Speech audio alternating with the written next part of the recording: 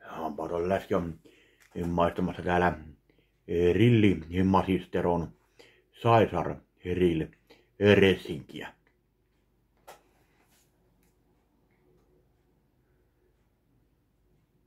Per, parmesaanijuustoa ja valkoispulja sisältävä majoneesi. No, vatkataan vähän ensiksi, että ei ole kokkareita.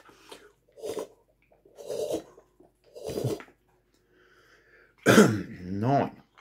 Ja otetaanpa sieltä lusikka rumaan käteen ja pistetäänpä siihen vähän resinkiä. Ihan hyvä tuoksahdus. Joten maistellaanpas.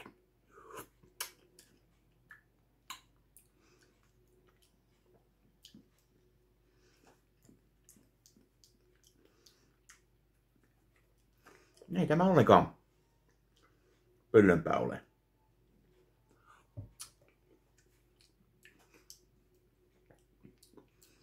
Ei tämä kyllä salattiin minun mielestä kyllä sopisi, mutta lihan päällä tämä voisi olla oikein herkullista.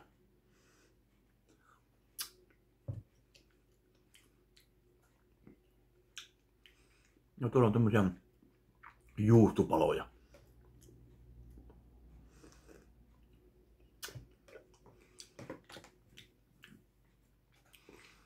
Tällä minä annetaan tälle mm, kolme ja puoli kautta viisi.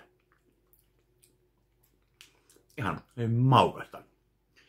Mutta että ruoka ei olisi liian herveellistä, niin otetaan pieni sotapoppi.